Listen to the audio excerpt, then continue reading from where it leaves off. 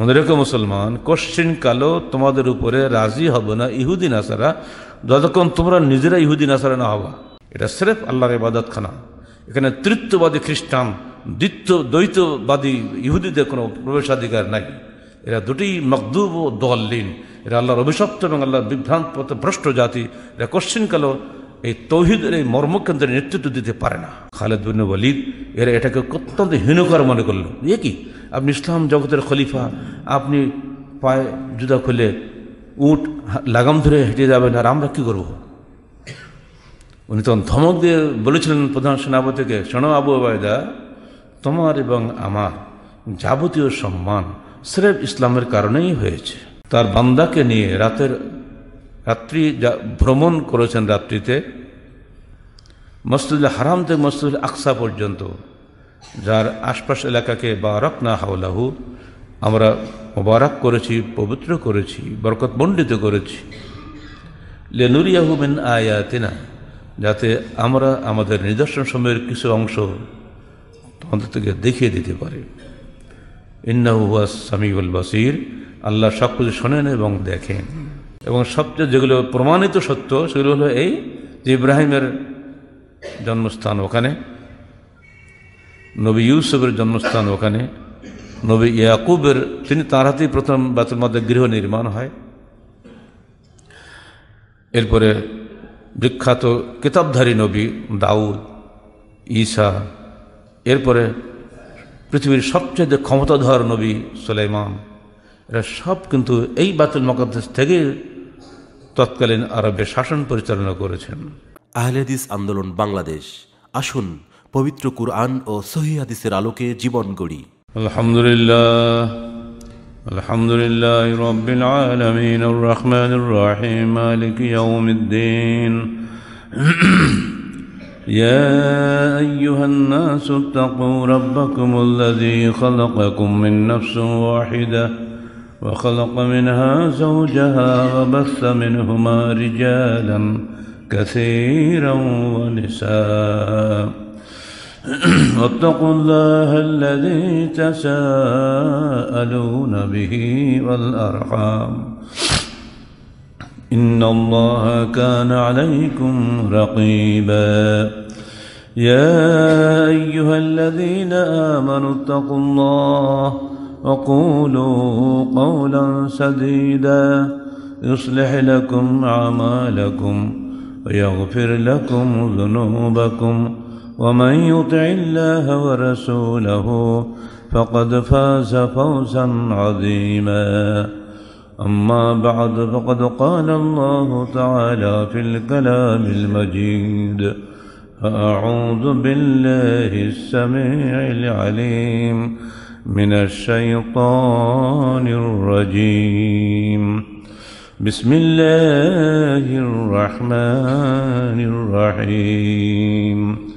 سبحان الذي يسرى بعبده ليلا من المسجد الحرام إلى المسجد الأقصى الذي باركنا حوله لنريه من آياتنا إنه هو السميع البصير سورة بنو إسرائيل প্রথম আয়াত যাবতীয় হামদ সানা আল্লাহ রবুল্লা আলমিনের জন্য এবং যাবতীয় দরুদ সালাত শেষ নবী মোহাম্মদ রসুল্লাহ সাল্লাহ আলহি আসাল্লামের জন্য। পৃথিবীতে জিন ও ইনসান সৃষ্টির উদ্দেশ্য হচ্ছে আল্লাহর ইবাদত করা। সার্বিক জীবনে আল্লাহ দাসত্ব করাই হচ্ছে আল্লাহ পাকের মূল উদ্দেশ্য। আর এই দাসত্ব সঠিকভাবে হচ্ছে কি না হচ্ছে, এটা যাচাই বাসের জন্য আল্লাহ পাক সঙ্গে সঙ্গে ইবলিসকেও সৃষ্টি করে দিয়েছেন। ইবলিসের প্রভাব মুক্ত হয়ে যারা আল্লাহ পাকের পূর্ণ আনুগত্য করতে পারে, তারাই জয়ী এবং তারাই জান্নাতি হয়।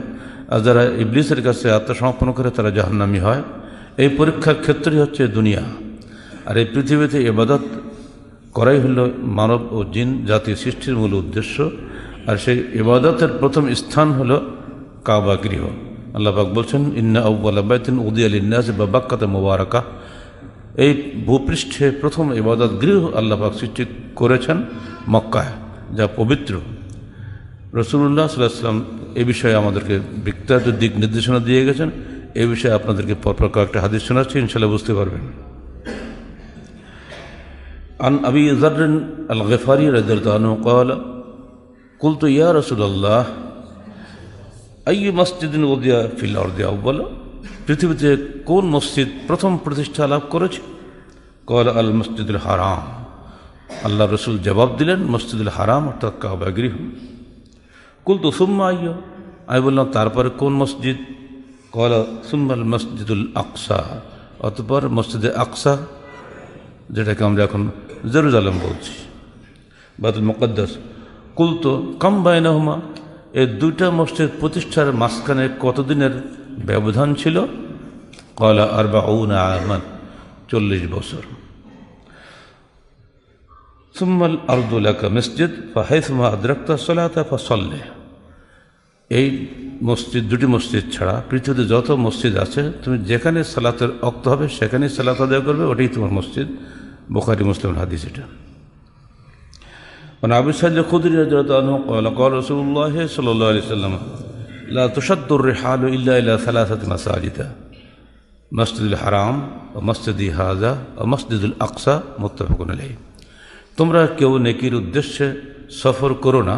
তিনটি মসজিদ ব্যতীত।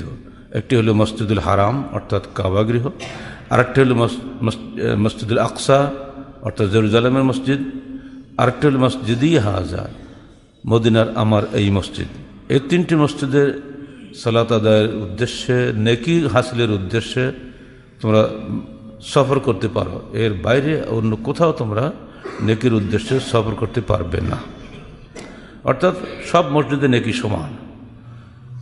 কাবাগৃহে সালাত আদায় করলে এক লক্ষ গুণ নেকি হয়। মসজিদ হারামে সালাত আদায় করলে এক হাজার গুণ নেকি হয়। মসজিদ আকসাও সমপরিমাণ। এই বিষয়ে হাদিসটি শোনেন। নাবিজাদিন রাজিউল্লাহ আন্ন নবী সাল্লা সাল্লামা আবুজার গেফারি একদিন রসুল্লাহ সাল্লাহ সাল্লামকে প্রশ্ন করলেন, আনিস সালাত ফি বাইতুল মুকদ্দাস? বাইতুল মুকদ্দাস সালাত আদায় করার ফজিলত কি?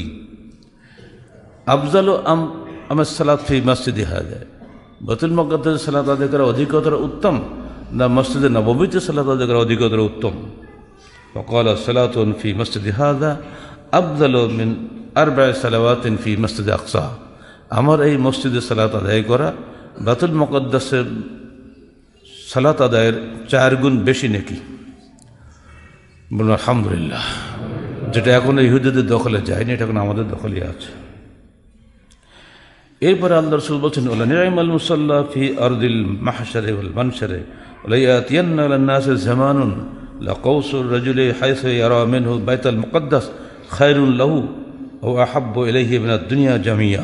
সৈয়দ তরগিব, এগারোশো উনআশ নম্বর আদেশ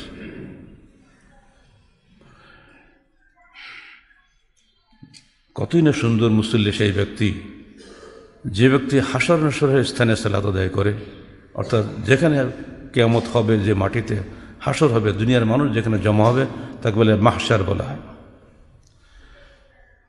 সেই সময় যেখান থেকে বাতুল মকদ্দাস দেখা যায়, ঐরূপ স্থান মানুষের নিকটে সর্বাধিক প্রিয় হবে মিনা দুনিয়া জামিয়া, সারা পৃথিবীর চাইতে। এই যে ভবিষ্যৎবাণী, অর্থাৎ বাতুল মকদ্দাস মসজিদের উপরে বিপদ আসবে তখন ওই বাতুল মকদ্দাস মসজিদ দেখার জন্য মানুষ এত উদ্গ্রীব হবে যে পৃথিবীর সমস্ত স্থান ফেলে দিয়ে তারা ওখানেই তাকাবে। কারণ এটা এমন একটি স্থান বাতুল মাহাসারে বলে মানুষের এখানেই মানুষের হাসর হবে, এখানেই মানুষের নসর হবে। সারা পৃথিবীর মানুষ এখানেই জমায়েত হবে। অতএব বাতুল মকদ্দাসকে কিন্তু উনি খাস করলেন। সমস্ত মানুষ সেই মসজিদের জন্য উদ্গ্রীব হবে এমনভাবে যে দুনিয়ার সবচাইতে প্রিয় হবে ওই মসজিদ। সেটা একটু দেখার জন্য। এর মধ্যে বহু প্রশ্নের উত্তর আছে وعن أبي وعن عبد الله بن عمرو رضي الله عنه قال قال رسول الله صلى الله عليه وسلم لما فرغ سليمان من بناء بيت المقدس سأل الله تعالى ثلاثا সুলেমান আলাই সাল্লাম যখন বাতুল মকদ্দাস মসজিদ নির্মাণ সমাপ্ত করলেন তখন আল্লাহর কাছে তিনটি প্রার্থনা করেছিলেন হুকমান ইসাদফ হুকমাহ। তিনি যে ক্ষমতার মালিক হয়েছেন, এই ক্ষমতার সমপর্যায়ের মালিক যেন দুনিয়াতে কেউ হতে না পারে। দুই নম্বর, মুলকান লাইম বেগিল ইয়াহাদিন বিম বাহাদিহি তিনি যে সাম্রাজ্যের মালিক হয়েছেন, এরকম বিশাল সাম্রাজ্যের মালিক যেন তার পরে আর কেউ না হয়। তার ক্ষমতা কেমন ছিল আপনারা সবাই জানেন? হাওয়া তার কথা শুনতো, পাখি তার কথা শুনতো, জিন তার কথা শুনতো পৃথিবীতে এমন কোনো সৃষ্ট জীব নাই যে সোলেমানের হুকুমে ওঠা বসা করেনি। এই ক্ষমতা তো পৃথিবী আর কেউ পায়নি, এটা তো নিশ্চিত, কেউ পায়নি। তো এ দোয়া আল্লাহ তার কবুল করেছেন। আর তিনি যে ক্ষমতার মালিক, সাম্রাজ্যের মালিক হয়েছিলেন, এই সাম্রাজ্যের মালিক, তার এই দোয়ার কারণে আল্লাহ পাক পৃথিবীতে আর কাউকেই দেন নাই। এটাও নিশ্চিত। তিন নম্বর হলো, ওলা আম্বাকিল আহাদিন বাদহু আল্লাহ ইয়াতি হাজাল মসজিদ আহাদুল্লাহ ইউরিদু ইল্লা সালাদা ফিয়ে ইল্লা খারাজ আমিন জুনুবি কায়ামিন ওয়ালাদাত উম্মুহু। হে আল্লাহ, এই মসজিদে কোনো মুসলিম যদি সালাত আদায় করে, সেরেফ সালাতের উদ্দেশ্যে যদি সে এখানে আসে, তাহলে সে যেন ওই রকম পাপমুক্ত হয়, যেমন সে তো মায়ের গর্ভ থেকে দুনিয়াতে যখন ভূমিষ্ঠ হয়েছিল পাপমুক্ত অবস্থায়, ওইরকম যেন সে পাপমুক্ত হয়ে মসজিদ থেকে বেরিয়ে যায়। ফকাল নবী সাল্লাহ রসুল বললেন, দেখো, ইসনাতান কাদে অতিয়াহা এ প্রথম দুটো কাদে অতিয়াহু তাকে দেওয়া হয়েছে। ও আরজু ইয়াকুন কাদে অতিয়া সালেসা। রহ ইবনু মাজা। আমি আশা করি সুলেমানকে তৃতীয় দোয়া অনুযায়ী পুরস্কার দেওয়া হবে। মানে যত লোক ওখানে সালাত আদায় করবে সদ্য ভূমিষ্ঠ সন্তানের মতো সে নির্দোষ, সে নিষ্পাপ হয়ে বেরিয়ে আসবে। সেই মসজিদ আজকে ইহুদিন আসারার দখলে। আজকের পত্রিকার হেডলাইন হবে, হয়ে গেছে গতকালই। ট্রাম্প নির্দেশ দিয়েছে, ওটাই এখন হবে ইহুদিদের রাজধানী। জেরুজালেম এই পর্যন্ত রাজধানী হিসেবে গ্রহণ করার সাহস ইহুদিরা করেনি। আমেরিকার প্রেসিডেন্টরা সবাই ইহুদিদের সমর্থক। উনিশশো পঁচানব্বই সালে তাদের আইন পাশ হয়েছে। জেরুজালেমকে ইচ্ছা করলে স্বাধীনতা ঘোষণা, স্বাধীন কি বলে রাজধানী ঘোষণা করতে পারবে ইহুদিরা। তবে এই ব্যাপারে আমেরিকার প্রেসিডেন্টকে এখতিয়ার দেওয়া হলো, তিনি প্রতি ছমাস অন্তর অন্তর কবে নাগাদ সেটা ঘোষণা করা হবে, এটা পরিবর্তন করতে পারবেন। সেই পঁচানব্বই সাল থেকে আজকে দু হাজার সতেরো সাল পর্যন্ত আজ প্রায় তেইশ বছর যাবৎ আমেরিকার কোনো প্রেসিডেন্ট ছয় মাস পর পরে এই সিদ্ধান্তের সাহস স্বাক্ষর করতে সাহস করেন নাই। কিন্তু এই পাগল এসে প্রথম ছয় মাসে সে করেনি। এইবারে ছয় মাসে সে বলে দিয়েছে হ্যাঁ তোমরা এবার ওটাকে রাজধানী ঘোষণা করো। এই ঘোষণার প্রতিক্রিয়া যে কি হবে কি হওয়া উচিত তা তো বুঝতেই পারছেন। এটা স্রেফ আল্লাহর ইবাদতখানা। এখানে তৃত্ববাদী খ্রিস্টান, দ্বিত্ব, দ্বৈতবাদী ইহুদিদের কোনো প্রবেশাধিকার নাই। এরা দুটি মকদুব ও দোয়াল্লিন। এরা আল্লাহর অভিশপ্ত এবং আল্লাহর বিভ্রান্ত পথে ভ্রষ্ট জাতি। এরা কোশ্চিনকালও এই তৌহিদের, এই মর্মকেন্দ্রের নেতৃত্ব দিতে পারে না। এটাই হলো আল্লাহর পাকের ঘোষণা। পৃথিবীর সৃষ্টির শুরু থেকেই কাবাগৃহ যেমন আছে তার চল্লিশ বছর পরেই বায়তুল আকসাও ঠিক তেমনি আছে। এখানে হাত দেওয়ার অধিকার কোনো মোশ্রেকের নাই কাফের নাই। হতভম্ব মুসলিম বিশ্ব চুপচাপ দাঁড়িয়ে দাঁড়িয়ে খেলা দেখছে। ইতিহাস শোনেন। হজরত নূহ আলি ইসলাতামের পঞ্চম অধস্তন পুরুষের নাম ছিল ফিলিস্তিন। তার নাম অনুসারে ওই এলাকার নাম আজও ফিলিস্তিন। সে আজকের খবর নাকি? কোথায় খ্রিস্টানরা কালকে হলো ওর জন্ম? দশশো এর আগে বলি, আবু বকর এবং ওমরের সময় যখন থেকে এসেছে ইসলাম মক্কায়, তখন থেকে এরা মুসলমান। ওমরের সময় পুরোপুরি এটি ইসলামী খেলাফতের অন্তর্ভুক্ত হয়। এরপরে তো কুরুশের যুদ্ধ শুরু হয়েছে, আপনারা জানেন, দশশো ছিয়ানব্বই সাল থেকে এগারোশো সাতাশি খ্রিস্টাব্দ পর্যন্ত, দীর্ঘ একানব্বই বছর যে কুরুশেডের এই আমলে খ্রিস্টানরা এই মাতুল মকাদ্দার দখল করে নেয়। এই সময় মসজিদের মধ্যে সত্তর হাজার মুসলমানকে এরা হত্যা করে। মসজিদে আশ্রয় গ্রহণকারীদের মধ্যে আর বাইরেগুলোতে হিসাব নাই। এই খ্রিস্টানরা মুসলমানদেরকে বরদাস্ত করে নাই। মুসলিম নারী পুরুষদেরকে ঠিক যেভাবে আন্দালুসিয়াতে, অর্থাৎ স্পেনের কর্ডোবাতে ধোকা দিয়ে ঢুকিয়েছিল, তাদেরকে হত্যা করেছিল। পয়লা এপ্রিল এপ্রিল ফুলস ডে দেশে পালন করা হয়। ঠিক একইভাবে এই একই খ্রিস্টানরাই বাতুল মোকাদ্দার মসজিদে সত্তর হাজার মুসলমানকে হত্যা করে রক্তের বন্যা বইয়ে দিয়েছিল। এগারোশো সাতাশি খ্রিস্টাব্দে দীর্ঘ কুরশের শেষে সালাহউদ্দিন আইয়ুবের হাতে যখন এরা পরাজিত হয়ে পালিয়ে চলে যায়, তখন সালাহউদ্দিন আইয়ুব এই সন্ধিতে বলে দিয়েছিলেন, আমরা তোমাদের মতো নিষ্ঠুর নাই। তোমরা মানুষ, যাও, যার উঠে যতটুকু মাল ধরে তাই নিয়ে চলে যাও। তোমাদের জান, মাল, ইজ্জতের উপরে মুসলমান কখনই হামলা করবেন না। দুটো দেখেন, পার্থক্য দেখেন। খ্রিস্টানরা কি আচরণ করেছে? আর মুসলমানরা কি আচরণ করেছে? এর বহুদিন পরে পুনরায় যখন খ্রিস্টানরা আসলো ওখানে তখন দামাস্কের সালাউদ্দিন আইবির কবরে লাথে মেরে বলেছিল, এবার সালাদিন উই কেম এগেন। সালাদিন, ওঠো, দেখো, আমরা পুনরায় এসে গেছি। কি টিটকারি। কবরে পর্যন্ত লাথি মারে। প্রধান সেনাপতি হয়ে। যাই হোক ওদের চরিত্র খ্রিস্টান ইহুদিদের কোশ্চেন করে, মুসলমানদের প্রতি মহানুভব নয়। যেটা দেখানো হয়, ওটা সেরে বাহ্যিক। সেই ভুলটা করেছে মুসলিম বিশ্ব। ট্রাম্প প্রেসিডেন্ট হওয়ার পরে তিনি গেলেন প্রথম সফর গেল সৌদি আরবে। জানান তো সবাই, তাই না? ভক্তিতে গদগদ হয়ে গেল আমাদের হুজুররা মাশা সাড়ে ছয় হাজার ডলারের গিফট দেওয়া হলো তাকে। তারা পকেটে ঢুকিয়ে নিল, ভয় দেখাল, ইরান তোমাদের হামলা করবে, বাঁচতে চাইলে আমাদের অস্ত্র এখনই কেন। অস্ত্রের ব্যবসা শুরু হয়ে গেল হাজার হাজার কোটি টাকার। এইবার ইরানের হাত থেকে বাঁচার জন্য আমেরিকার কোলে আশ্রয় নিয়ে আমেরিকার সুযোগটা নিয়ে নিল যে এখন আমি যদি ইসরায়েলের রাজধানী দখল করি, জেরুজালামকে ঘোষণা দেই, এখন আর সৌদি আরব হোক আর যে যে আরব হোক না কেন, কারও ক্ষমতা নেই, আমাকে কিছু বলে। খেয়াল করেছেন? কত দূর থেকে তারা পলিসি করে আসতেছে, আর আমাদের ওই পলিসি নাই। গোস রুটি, ডাল, খেলেই খুশি। দুর্ভাগ্য মুসলিম নেতৃবৃন্দের। আল্লাহ বলছেন, ওয়ালান তরদা আনকাল ইয়াহুদ ওয়ালান নাসারা হাত্তা তাত্তাবিয়া মিল্লাতহম। মনে রেখো মুসলমান, কোশ্চিন কালো তোমাদের উপরে রাজি হবে না ইহুদি নাসারা, যতক্ষণ তোমরা নিজেরা ইহুদিন আসারা না হবা। হবেন? তার মানে এরা কখনোই আমাদের পরে খুশি নয়। কোরআনের এই বাণী মুসলিম উম্মার সবাইকে মাথায় রাখতে হবে। এটা রেখে আপনার পররাষ্ট্র নীতি ঠিক করতে হবে। আপনার যাবতীয় পরিকল্পনা এই নিরিখেই করতে হবে। এর বাইরে গেলে নিজে মার খাবেন। এইটার সঙ্গে আরও অনেকগুলো আয়াত রয়েছে। মমিনুল্লাহ কাফিরিন আউলিয়া। হে মুমিনরা, তোমরা কখনই কোনো কাফেরকে বন্ধু গ্রহণ করো না। কে শোনে কার কথা? আমাদের বন্ধু তো কাফেরই বেশি। তাই না? কাফেন্দালি দুনিয়া চলে নাকি?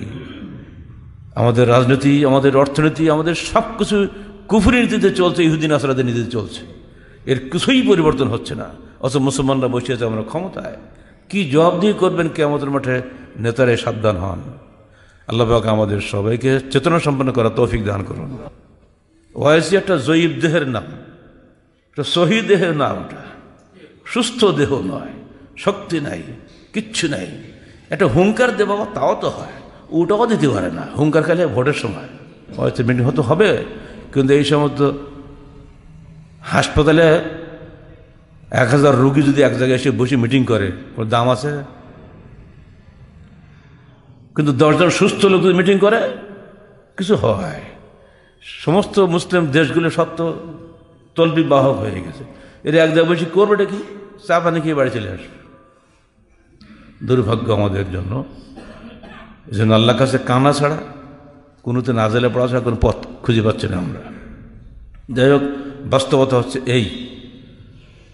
ঘোষণা, স্বাক্ষর করলেই ইহুদিরা সেখানে উঠে যাবে। এখন ইহুদিদের পাহারাদারিতে তাদের ভিসা নিয়ে আপনাকে এই পবিত্র মসজিদে ঢুকতে হবে। এটা কি চিন্তা করা যায় কখনো। আর সেজন্য আপনাদেরকে ইতিহাস শোনায় দেওয়াটা কর্তব্য বলে মনে করছে। উদ্দেশ্য ছেড়ে মুসলমানদের মধ্যে চেতনা সৃষ্টি করা। কি ছিল আর কি হচ্ছে? এরপরে আসেন, ওমরের যুগে এটা দখল হয়ে গেল। এখানে আমি আগে একদিন বলেছিলাম, কিন্তু বারবার জিনিসটা বলতে উদ্দেশ্য হলো আপনাদেরকে জানিয়ে দেওয়া। ওমর যেদিন সেখানে যান বাতুল মকদ্দাসের সে চুক্তি স্বাক্ষরের অনুষ্ঠানে ওরা বলেছিল যে আমরা এখন আত্মসমর্পণ করব মুসলিম খেলাফতের কাছে। তবে আমাদের শর্ত হলো, খলিফাকে মদিনা থেকে সামনে আসতে হবে, অর্থাৎ বাতুল মকাদ্দাসে এখানে আসতে হবে। এটা একটা হীনকর শর্ত। ওমর ফারুক জলিত আনু তার মজলিস সুরা ডাকলেন, সবাইকে পরামর্শ চাইলেন, ওসমান গনি পরামর্শ দিলেন, যে আপনার হয়তো আলী পরামর্শ দিলেন আপনার যাওয়ার প্রয়োজন নেই, আপনি এখানে থাকেন ওরা এখানে আসুক। ওসমান পরামর্শ দিলেন, আপনার যাওয়াই উচিত, কারণ ওরা আসতে গেলে বিশাল ঝামেলা। কারণ সেনাবাহিনী আমাদের আছে, সহজে ছাড়বে না। আপনি একা যাবেন, ওরা মেলা লোক আসবে। এর মধ্যে মুসলমানদের সাহসের পরিচয় হবে, মহানুভবতার পরিচয় হবে। উনি ওসমানের পরামর্শ গ্রহণ করলেন, চলে গেলেন। আলীকে ওনার খেলাফতের স্থলাভিষিক্ত করে ওসমানকে নিয়ে চলে গেলেন। সামনে গিয়ে দেখলেন যে খ্রিস্টান নেতারা সব পায়ের জুতা খুলে ওরা পানির তীরে দাঁড়িয়ে আছে। উনি মনে করলেন, এখানকার ট্র্যাডিশন মধ্যে এইটাই হবে। উনি তাদেরকে সম্মান জানিয়ে নিজের পায়ের জুতা করলেন এবং উঠে লাগাম ধরে তিনি খালি পায়ে হেঁটে চললেন।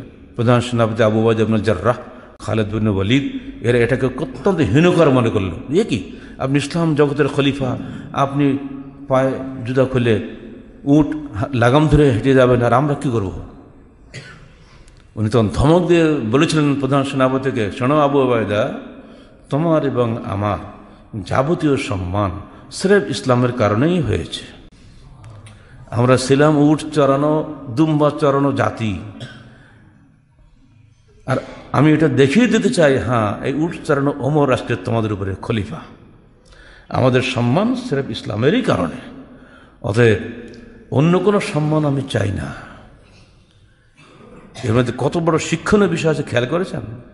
এই হলো খলিফাতুল মুসলিমিন। উমর ইবনুল খত্তাবের বিশাল এই ভাবমূর্তির অন্তর্নিহিত পরিচয়। তৎকালীন বিশ্বে ওমরের মোকাবিলা করার ক্ষমতা কারোরই ছিল না। অথচ তার এই নিরহংকার বিনয়ী স্বভাব, খ্রিস্টান নেতারা দূর থেকে দেখে আপ্লুত হয়ে গেল। এ কি? এই সেই ওমর? দুর্দণ্ড প্রতাপ ওমর, এইটাই? আর কোনো কিছু লাগেনি। কিসের চুক্তি? যাওয়ার সঙ্গে সঙ্গে রিসিভ করে চুক্তি শেষ। সসম্মানে বলল, হে ওমর, এই বাতুল মকদ্দাস আপনার। যেখানে খুশি সেখানে সালাত আদায় করুন। ওমর ফারুক বললেন, যেখানে আমার রসুল্লাহ সালাত আদায় করেছেন, যেখান থেকে মেয়েরাজ হয়েছে, ওইখানে আমি সালাত আদায় করব। যে তোমাদের ওখানে সালাত আদায় করি, আগামী দিনে আমার পরবর্তী খলিফারা জবরদস্তি তোমাদের ধর্মীয় অধিকার উপরে হস্তক্ষেপ করবে, এটা আমি চাই না। দেখছেন কত দূরদর্শিতা? করেনি? যেখানে সবুজ গুম্বজ কবদুল সখরা বলে, ওখানে উনি সালাত আদায় করলেন। এটা দেখে খ্রিস্টান নেতারা আরও অভিভূত হল, এ কি? এখন তো সে বিজয়ী। পরাজিত। এরপর আমাদেরকে এই সম্মান। এবার আপনারা বিবেচনা করুন, যারা সত্তর হাজার মুসলমানকে হত্যা করেছে বাতুল মোকদ্দাসে, আর সেইখানে বাতুল মোকদ্দাস বিজয়ী খলিফ অমর যাচ্ছেন, একেবারে একেবারে শান্ত, শিষ্ট একটা সাধারণ মানুষ হিসেবে। যারা চলে গেছে, তাদের তো ফেরত পাওয়া যাবে না। প্রতিশোধ নেব না। প্রতিশোধ আল্লাহ নেবেন। আমার দায়িত্ব সমাজে শান্তি রক্ষা করা। ঠিক তিনি তাই নিলেন। এটা একটু মনে করে দিয়েছে পিছন দিকের ইতিহাস। তখন থেকে দীর্ঘদিন যাবৎ এটা মুসলমানদের অধিকারই ছিল। ওসমানী খেলাফতের আমলে চারশো বছর যাবৎ এখানে ছিল।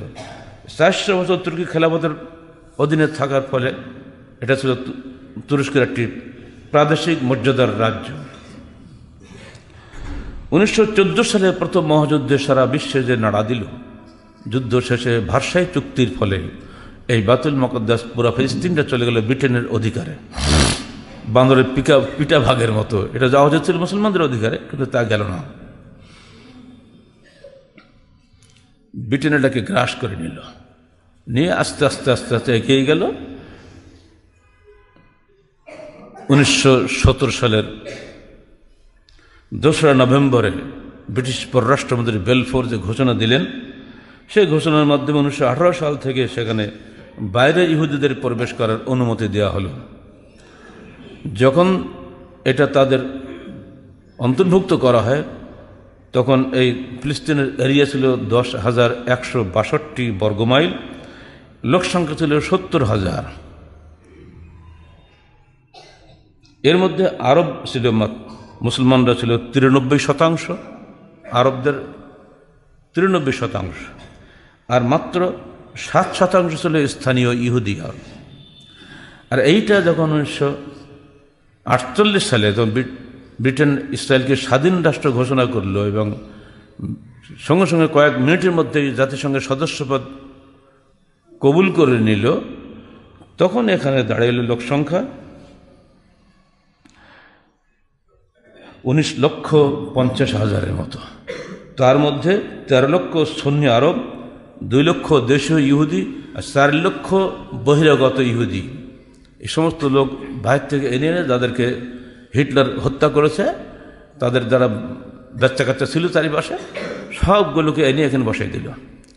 দিয়ে চেষ্টা করা হলো মুসলমানদেরকে তাড়িয়ে দিয়ে, ইহুদিদের সংখ্যা বৃদ্ধি করা। মানে সেটাই হয়েছে পরবর্তীকালে উনিশশো তিয়াত্তর সালে যে আরব ইসরায়েল যুদ্ধ হয় সে যুদ্ধের সময় এই যে তেরো লক্ষ শূন্য আরব মুসলমান বললাম, এই সবগুলোকে তাড়িয়ে দিল। প্রথম চোটে দশ লক্ষ তাড়িয়ে দিল, তারপরে দুই লক্ষ চোদ্দ হাজার থাকল। তাদের, তারা ওই ওই গাজায় সব বন্দি শিবিরে পড়ে আছে সব। ইসরায়েলের অনুমতি ছাড়া তারা হাসপাতালে যেতে পারে না। ইসরায়েলের অনুমতি ছাড়া সেখানে পানি আনতে পারে না, খেতে পারে না, কিছু পারে না। পুরো পৃথিবীর সবচেয়ে বড় বন্দি শিবির হচ্ছে এখন ফিলিস্তিন। ফিলিস্তিনের আশি ভাগ অঞ্চল এই অবৈধ, বহিরাগত ইহুদিরা দখল করে নিয়েছে। এই ইতিহাস সামনে রেখে কীভাবে তারা আগাচ্ছে দেখেন, আস্তে আস্তে আস্তে আস্তে সব তারা নিয়ে নিল। আন্তর্জাতিক বিশ্বকে ধোকা দিয়ে আজকে মুসলমানদের চির- চিরায়ত অধিকারকে, চিরন্তন অধিকারকে ভুলুণ্ঠিত করে আল্লাহর অভিশপ্ত এবং পথভ্রষ্ট ইহুদি নাসারা জাতি মুসলমানদের গৌরবধন্য এই স্থানটি দখল করে নিল। যে আয়াত আমরা পড়েছি সেটা বনু ইসরায়েলের প্রথম আয়াত আল্লাহাক বলে দিচ্ছেন সুবহান আল্লাজি আসরাবে আব্দুল মিনাল মসজিদ হারামে মসজিদুল আকসাল্লাদি বারকনা হাউলা মহাপবিত্র সেই সত্তা, যিনি তার বান্দাকে নিয়ে রাতের রাত্রি যা ভ্রমণ করেছেন রাত্রিতে, মসজিদুল হারাম থেকে মসজিদুল আকসা পর্যন্ত, যার আশপাশ এলাকাকে বারাক না হাওলাহু, আমরা মোবারক করেছি, পবিত্র করেছি বরকত মণ্ডিত করেছি। লেনুরিয়াহু মিন আয়াতিনা। যাতে আমরা আমাদের নিদর্শন সময়ের কিছু অংশ তোমাদের থেকে দেখিয়ে দিতে পারি।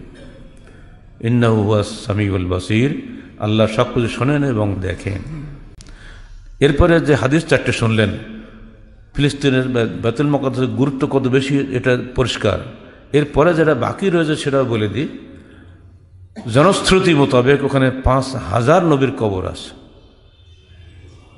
এবং সবচেয়ে যেগুলো প্রমাণিত সত্য, সেগুলো হলো এই যে ইব্রাহিমের জন্মস্থান ওখানে, নবী ইউসুফের জন্মস্থান ওখানে, নবী ইয়াকুবের, তিনি তার হাতেই প্রথম বাতুল মধ্যে গৃহ নির্মাণ হয়। এরপরে বিখ্যাত কিতাবধারী নবী দাউদ, ঈসা, এরপরে পৃথিবীর সবচেয়ে ক্ষমতাধর নবী সুলাইমান, এরা সব কিন্তু এই বাতুল মকাদ্দেশ থেকে তৎকালীন আরবে শাসন পরিচালনা করেছেন। এই সমস্ত নবীদের তৌহিদের আদর্শ ধন্য এই মাটি। আজকে কাফেরদের অধিকারে অপবিত্র হোক, এটা করে মুসলমান চাইবে না। যে বোতাম টিপেছে আমেরিকার প্রেসিডেন্ট, এই বোতামের ফলাফল কোন দিকে গড়াবে আল্লাহ ভালো জানে। যদি মুসলমানদের মধ্যে চেতনা থাকে, হয়তো এর কিছু বিপরীত কিছু ঘটবে। নইলে আজ হোক কাল হোক চিরকাল চেতনা সম্পন্ন নেতা আল্লাহ পাকের মেহরবানিতেই ফিরে আসবে। যারা এখানে পুনরায় ওই যে ভবিষ্যৎবাণী আমার রসুল করে গেলেন, সেটি হয়তো আবার আশা করি ফিরে আসবে। মুসলমান সেখানে সালাত আদায় করবে, এমন অবস্থায় সেখান থেকে বেরিয়ে আসবে সদ্য প্রসবিত, পবিত্র, নিষ্পাপ একজন মানুষ হিসেবে সেখান থেকে সালাদ আদায়কের বেরিয়ে আসার সুযোগ ইনশাআল্লাহ আজ হোক কাল হোক পেয়ে যাবে। কারণ আমাদের রসুলের জবান দিয়ে করে মিথ্যা কথা বের হয় না। তিনি বলছেন, আরজু, আমি আশা করি সেদিন আসবে যেদিন মুসলমানরা আবার সেখানে প্রবেশ করবে এবং তারা ঠিক অমনি করে সদ্য প্রসবিত সন্তানের মতো নিষ্পাপ অবস্থায় সালাদ আদকের বেরিয়ে আসবে। সেই সুযোগ আসুক আমরা সবাই আল্লাহ কাছে, সেই প্রার্থনা করি। আল্লাহ পাক মুসলিম উম্মার মধ্যে শক্তিশালী নেতা সৃষ্টি করে দাও। আল্লাহ, তুমি মুসলিম উম্মার মাধ্যমে এই কাফেরদের হাত থেকে বাতুল মকদ্দাসকে মুক্ত করো। আকুল কৌলি হাজা আস্তফুল আলী ওয়ালাকুম সাহিল মুসলিমিন।